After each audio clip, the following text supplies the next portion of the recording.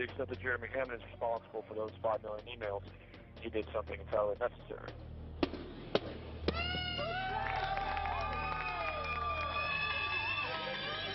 Stop projecting this. If the U.S. was a country that was actually governed in accordance with the rule of law, then I would be the first to oppose any crime against any company, including hacking. But the fact of the matter is that this is not a country governed in the rule of law. We love you! We, we love you! We all love you, Jeremy! We all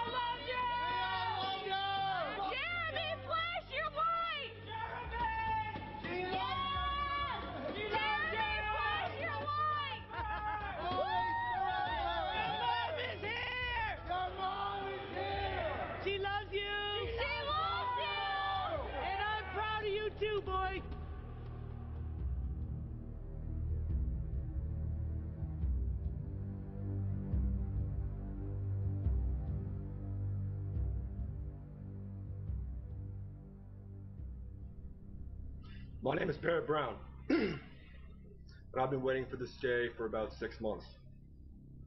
In a way, I've been waiting for this day since I was seven years old.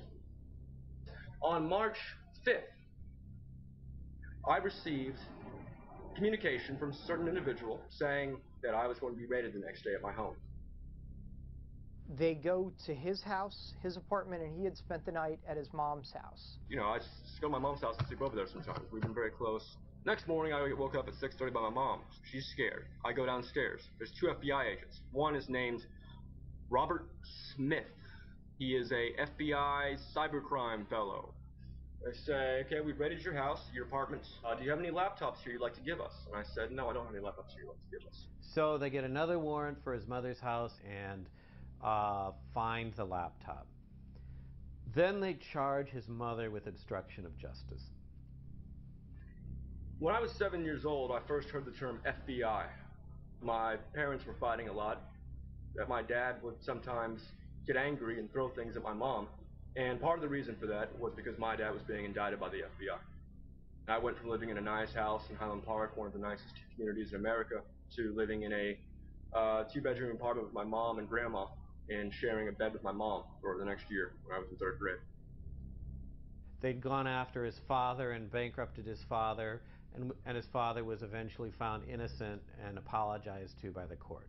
So basically, the FBI ruined his family. When I was in the backyard, and I remember I heard the Mexican FBI agent bring the other one back in and said, "Oh yeah, the bad guy's back here." It was that day I realized I'm a bad guy. You know what? I had no idea beforehand. You know, and even now I still have trouble really sort of internalizing that. But if the FBI says it, it must be true, and from now on I am a bad guy. It's kind of like a quad, and everybody in the apartment complex can hear this man ranting against the FBI on the balcony. And I'm getting a little bit concerned, but I also want him to have his, because he, you know, he, uh, he's very brown. He says crazy stuff. In the evening, we sit in the Tinychat, just joking around. I'm not wearing a shirt. People like us who are totally fat can do that. Hi, Effort Maxie.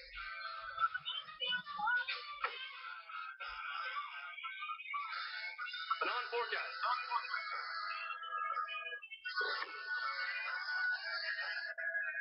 Hey, can you tell me if you're a gift or not? She said shit. I swear to God, she said shit the other day. It was crazy. And the picture on her fucking Okay. Twitter is the same person. Yeah, I'm pretty sure. It's, I'm pretty sure it's a real person. Oh my god. Look, you're pretty. don't have to really think I'm a It's like super passionate about this argument.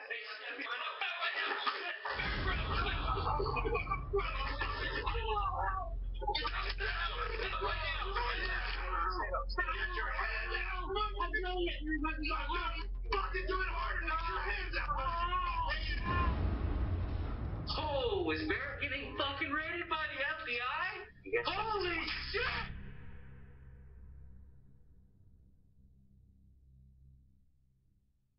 If you're in the place getting raided, okay, you don't know anything because all of a sudden your utilities go out.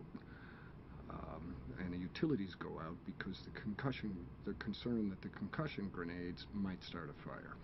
So they don't want the gas or electricity running. Okay. And none of the stuff you see on television where, you know, they go with, at the door with the battering ram. No, that door comes down in one blow. Okay, and you're down on the floor, okay, with one of these macho jerks pointing an assault rifle at your head, swearing at you, and telling you to freeze or he's going to blow your fucking brains out. The second agent came around in his camo with his gun, and he looked at me as if he didn't know there would be a girl there. Barrett's mother came over. She sees Barrett Brown V and then the ampersand over and over and over again on Twitter. Barrett Brown Band is a way that people communicate that somebody has been arrested. He's talking shit. There's no crime against talking shit. But maybe there is now. Robert Smith's life is over. So when I say his life is over, I don't say I'm gonna go kill him. But I'm gonna ruin his life and look into his fucking kids. How you like them apples? What kind of threat ends with "How do you like them apples"? It's like it's like like from like 1840 or something like that. If it was just threatening the agent and that's all he was being charged with, I wouldn't even care about this case. Let him and Special Agent Robert Smith go out back and duke it out, or let Special Agent Smith beat him up, or whatever he has to do. The second indictment comes, and then it's like a fucking kick in the in the, in the gut.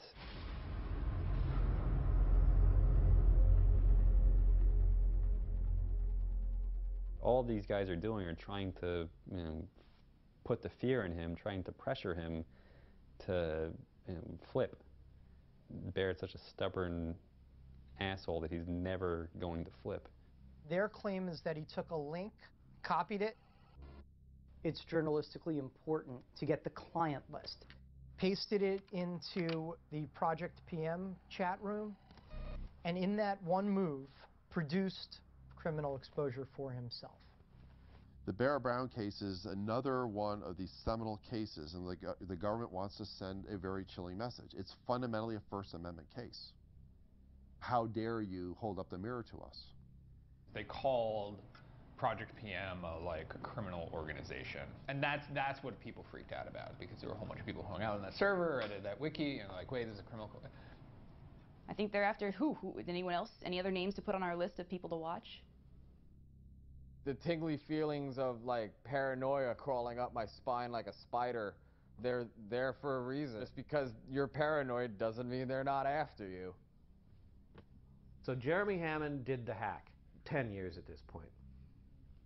Who's the guy that's looking at 105 years at this point? It's Barrett Brown. And what, what's the difference? He's disseminating the information. He's doing something more dangerous than what Jeremy did. Here's the message it sends from the government to the hacktivists who are getting great coverage and are becoming folk heroes through the press. Don't talk to the press because we're going to get their computers and we're going to get their sources and we're going to get you through that. To the press who are covering the hacktivists, don't cover these hacktivists because we're going to get you.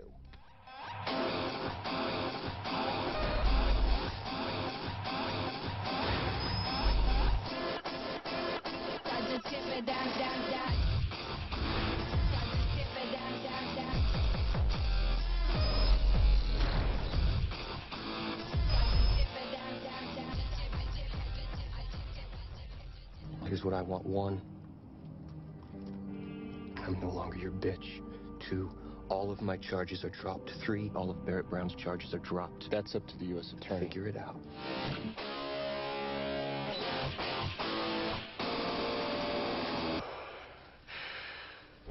Xavier Monsegur was responsible for the arrest of Jeremy Hammond and other anonymous and LulzSec members.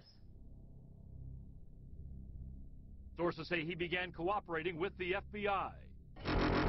I'm the de facto leader of a movement. Screaming hack the planet back in 99. Activism in its prime. Global hell had the dot mill.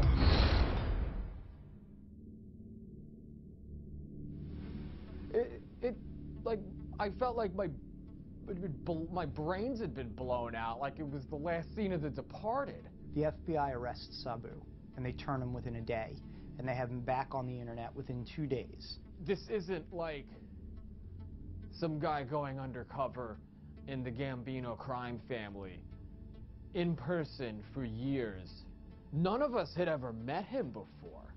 He was just this guy we knew from the internet. He talks the talk so forcefully with that kind of New York personality. You know, we are doing the right thing for the people. We are building this re- anew from the ground up. We are taking down the ugly, evil, capitalist, uh, you know, imperial machinery, and we are building it back up with our own hands. My brother, he says.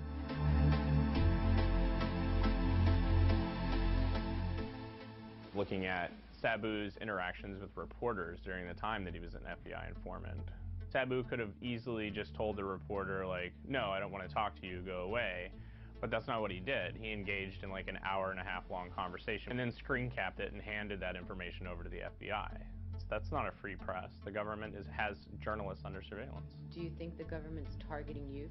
I hope not. I hope I'm not. Shit. Everybody's paranoia is just through the fucking roof.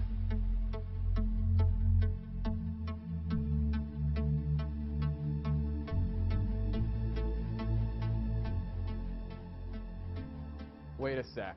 If he was working for the FBI from that moment in June to this moment now, they didn't delete his timeline. They didn't try to hide any of that stuff.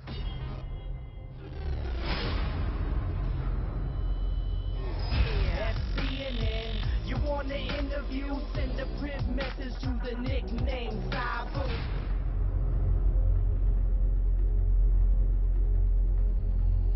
Pound any. Pounding through your speakers. Pound any.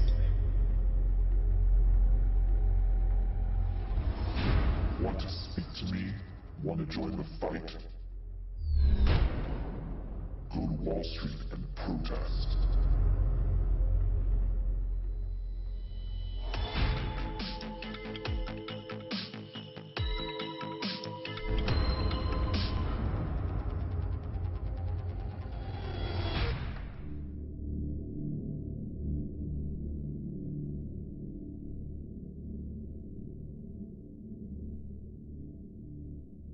Sabu and Jeremy were partners in crime.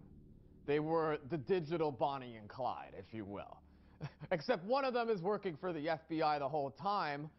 The FBI is operating in sort of a new theater, which is, is online. The government likes to use these hyperbolic terms referring to cyber warfare, cyber weapons.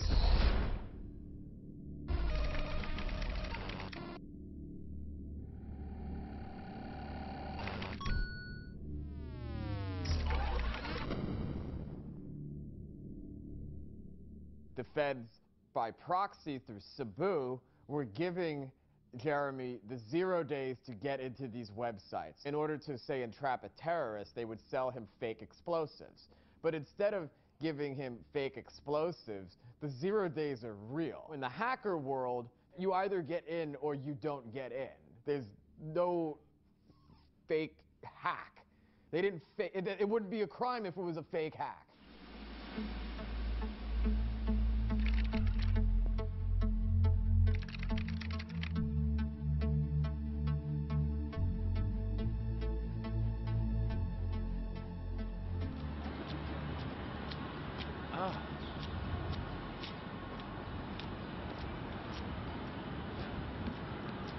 The only way I could describe it, dude. She filleted him. The amount of cooperation was truly extraordinary. And it was just amazing. She just kept saying it over and over. It's truly extraordinary, truly extraordinary. And, you know, and I gotta say too, I don't know what I would have done in his position. I really don't. Uh, you know, you have to walk a mile in his shoes to understand. Um, there's a lot of people that are gonna be mad though. The amount of truly extraordinary